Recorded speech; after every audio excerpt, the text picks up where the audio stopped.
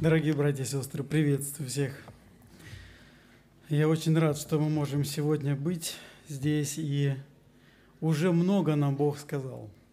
Мне иногда кажется, что э, вот, Господи, вот Ты каждое собрание для нас вот так много готовишь, после первой проповеди можно сказать аминь и уже идти делать, э, и уже идти прям выполнять, который, э, то, что Бог нам говорит. Вообще богат обильный стол – и, казалось бы, ну, здесь уже достаточно. Но тем не менее, может быть, для кого-то это слово будет э, то, что я сейчас буду говорить. Братья и сестры, кому из нас, точнее сказать даже так, что я уверен, что в этом зале нет человека, которого, который ни разу не, не испытал вкус неудач – Самое, говорят, самое первое разочарование, как, которое мы встречаем в жизни, когда ребенок первый раз дают ему соску. Что он думает, что у него соска? Нет. Это обман. Это обман. И так часто в нашей жизни мы одно подменяем другим, и приходит время, когда разбираешься в ситуации и думаешь, о, оказывается, не так. Я думаю, что для нас знакомо такое понятие понедельника. Сколько раз мы начинали понедельник? С понедельника начну. Так было? Дети сейчас пошли в школу. Вот посмотрите внимательно. Я вспоминаю свои тетрадки, даже недавно как-то разбирал и на, это, наткнулся на свою тетрадку. В начале, как я ровно пишу, классная работа, вывожу. А в конце, а в конце крестики-нолики. Там, в конце тетрадки. Хорошо, если она вообще дойдет до туда, но в целом, почему так в жизни, братья и сестры, у нас происходит? И ведь это только, ну, это, это часто такое мы себя ловим на этом. Что начинаю хорошо, Господи, вот с чистого листа, жизнь начну с чистого листа. Или, как говорят, с нуля. Ну, чтобы с нуля начать, надо до него еще дойти, да, в финансовом плане, если говорить. Вы знаете, друзья, Христос, видя эту проблему, рассказал интересную притчу. Я сначала не мог понять, как она, почему здесь Христос об этом говорит? И потом я понял, я хочу эти мысли передать вам. Евангелие от Матфея, 12 глава, 43, 44, 45 стих. Тогда нечистый дух выйдет из человека, когда нечистый дух выйдет из человека, то ходит по безводным местам, ища покоя и не находит – Тогда говорит, возвращусь в дом мой, откуда я вышел. И придя, находит его незанятым, выметенным и убранным. Тогда идет и берет с собой семь других духов злейших, злейших себя, и, войдя, живут там. И бывает для человека того последнее хуже первого. Так будет и с этим злым родом. Э, пока не беря контекст, давайте разберем немножко эту притчу. О чем вообще здесь речь Христос говорит? Вообще Христос, если коротко, то Христос здесь себя противопоставляет морали, самоправедности. Как это видно? Он рассказывает притчу о том, что о том, что нечистый дух, который живет в человеке – по, каком, по какой-то причине оставляет человека. По какой-то причине. Ну и судя по тому, что мы там дальше читаем, что это не самый злой дух. То есть он оставляет человека, и э, человек в какое-то, какое-то время живет свободно. Он освобожден от э, влияния сатаны. Это может быть какие-то привычки или там э, ну, что-то, что-то, что очень плохо влияет на нашу жизнь. Дух вышел из человека, э, злой дух, и не находя себе покоя, потому что ну, в телесном виде э, дух, он не обитает. Он обитает вне тела. Но для того, чтобы э, ему быть противным Богу, на что, собственно, это, это его назначение, он это делает через, э, ну, по Писанию мы видим, через плоть, через людей. И вот он, ну, это мы понимаем, что он не нуждается в пище, и он ходит по местам безводным, ища покоя. А покой он находит тогда, когда он делает противное Богу. И когда он противное Богу делает, то это, это тогда он находит свой покой. В, в этом он находит свой покой. И написано так, что не нашед покоя, он думает, возвращусь я в этот дом. Приходит, а дом чистый, выметенный написано.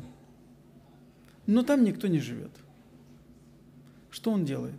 Он идет, берет с собой злейших, семеро, и поселяется в этот дом. И человеку написано, что последнее бывает хуже, чем было до этого. Мне казалось, когда я читал раньше эту притчу, мне казалось, что Христос, э, что вот знаете, как вот мы говорим, что Христос, сатана живет в сердце человека. Вы знаете, сатана живет в сердце человека, и казалось бы, ну его явные проявления, это что должно быть? Ну, когда человек, ну, знаете, вот э, такое как бы проявление сатаны, как, когда вот, ну, не, неестественные такие. Оказал, а здесь, оказывается, Христос говорит о том, что э, когда он э, вообще, вот получается, как будто были проявления сатаны до этого, а потом стали еще хуже. Вы знаете, когда Христос говорит об этом, Он говорит, что очищение нашего сердца – оно обязательно сопряжено с тем, что кто-то должен потом быть, жить. И вот так не бывает, что э, высвободился, освободился человек, и потом он вот такой довольный и свободный. Это вот как раз то, о чем Христос хотел сказать о морали. Я такую цитату выписал для себя. «Мораль без Христа, без жизни во Христе, не более чем притворство, и чем больше человек полагается на нее – тем более опасной она становится. Когда человек освобождается от действия сатаны, это может быть и Бог сделает во время покаяния. Вышел человек вперед или обратился перед Богом, покаялся, Бог дает ему свободу. Но теперь хочет Бог от нас и от этого человека дальнейшие шаги – Какие дальнейшие шаги мы видим, что нужно было бы сделать? Нужно сделать было так, чтобы Христос поселился в сердце этого человека на правах полноправного хозяина. Тогда, когда сатана бы подходил туда, то он видел, что там место занято, оно не пустое. Ему там места нету. Вот интересно, э, здесь Христос э, говорит, вот это место – глагол, который здесь э, «жить» э, применяется, он такой же глагол, как и в Ефесянам 3 главе 17 стихом написано. «Верую вселиться Христу в сердца ваши». Вот это «вселиться» – это тот же самый глагол, что и здесь. «Чтобы вы, укорененные и утвержденные в любви, могли постигнуть со всеми святыми, что широта и долгота, и глубина, и высота, и разуметь превосходящую разумение любовь Христову». И там Бог говорит, э, апостол Павел говорит, что Бог в нас действует великой силой. Верою селиться, вселиться в Христу сердца наши. Братья и сестры, а теперь мы вернемся к тому вопросу, с которого мы начали. И вообще, насколько, почему это опасное состояние? Вы замечали, что очень часто мы надеемся на себя – и я думаю, что я с этого понедельника, ну как сказать, или с завтрашнего дня, или с, вот, с ближайшего, я начну жить лучше. Проходит время, я понимаю, что я еще хуже стал. Сколько раз у нас такое было? я тоже, у меня такая же история. Думаешь, Господи, Ты мне указал на что-то, все, я буду теперь бороться, я буду работать над собой, и победа будет. И на первых порах, казалось бы, так и бывает – но в конечном итоге по ним приходишь к такому выводу, что я банкрот полный. И мое положение, оно еще хуже становится, чем было. И почему Христос говорит о том, что это положение страшнее, чем было до этого? Потому что человек, когда э, без Христа живет, освободившись от греха, живет без Христа, это наша религиозность, которую мы, вот, у нас есть определенный свод правил, которые мы понимаем. Помните, я рассказывал пример о том, что э, мы прекрасно знаем, как должен вести, себе, вести себя христианин в той или иной ситуации. Ну, чаще всего для нас это понятно. И мы где-то начинаем жить не потому, что там внутри Христос нас живет, а потому что мы себя вот так, мы себя вот так ну, приучили к этому. Вот Христос, зная это, говорит, будьте как дети. Почему? Потому что ребенок, у него что там внутри, то на языке, то и в поведении. Вот у него нет, у детей нет вот этой разницы. Мы же с вами прекрасно знаем, что в этой ситуации вот это говорить нельзя, а вот это можно. Вот так нужно себя вести. И где-то мы себя ведем так. Знаете, братья, дорогие сестры, я думаю еще о чем. Почему Христос говорит? Почему Христос говорит о том, что это опасно? Вообще в этот момент в Израиле, вообще эта притча была сказана э, фарисеям. Там до этого в 38 стихе написано, что некоторые из книжников фарисеев подошли к нему и просили знамения. И он говорит им, не даст этому роду знамения. По истории так. После Вавилонского пленения примерно в течение двух тысяч лет не было идоло, вот такого государств, на государственном уровне идолопоклонства в народе израильском. Примерно в районе двух тысяч лет. Так историки пишут. И вот фарисеи, которые настолько вот Писание извратили, они так хорошо все это дело, вот внешнюю форму сделали, что внутренность осталась пустая у них. И как достучаться такому человеку Богу нашему? Как до такого сердца достучаться, когда человек не понимает, что ему нужен Спаситель? Часто бывает так, Богу легче достучаться до, до э, грешника, сознающего себя полным моральным и ну, полной, полной греховности. Но если человек не видит нужды во Христе, как до него достучаться?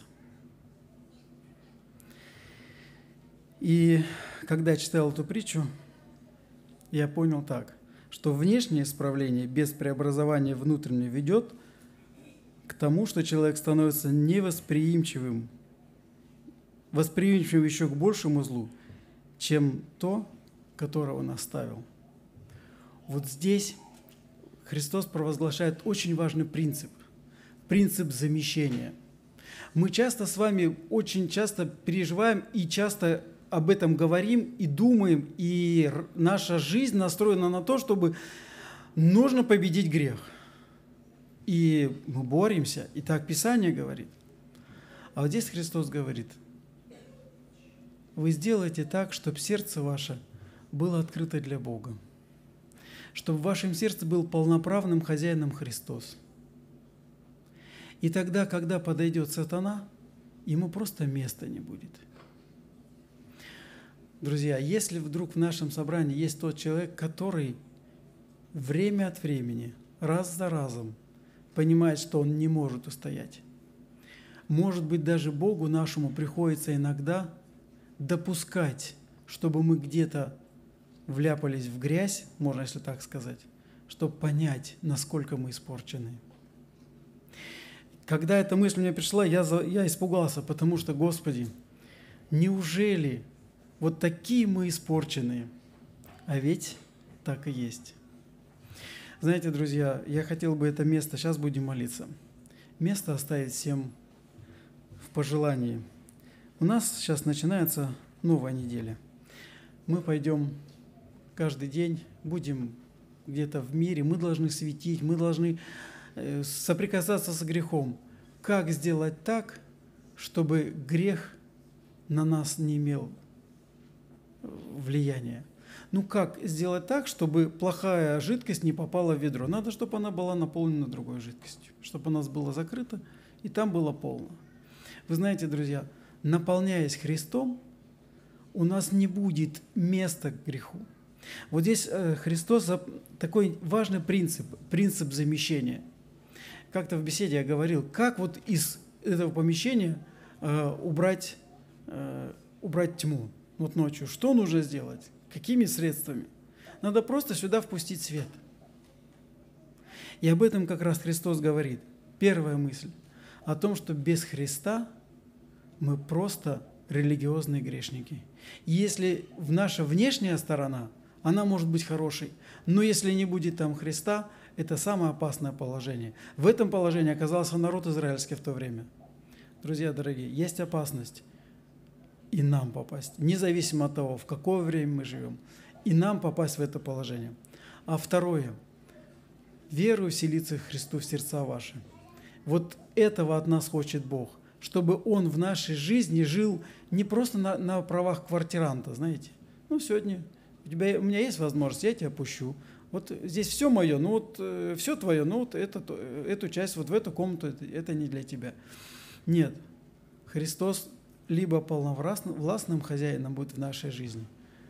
В противном случае мы будем в очень плохом положении. Друзья дорогие, я предлагаю сейчас помолиться, чтобы каждый из нас мог провериться. Попросим Его милости. Аминь.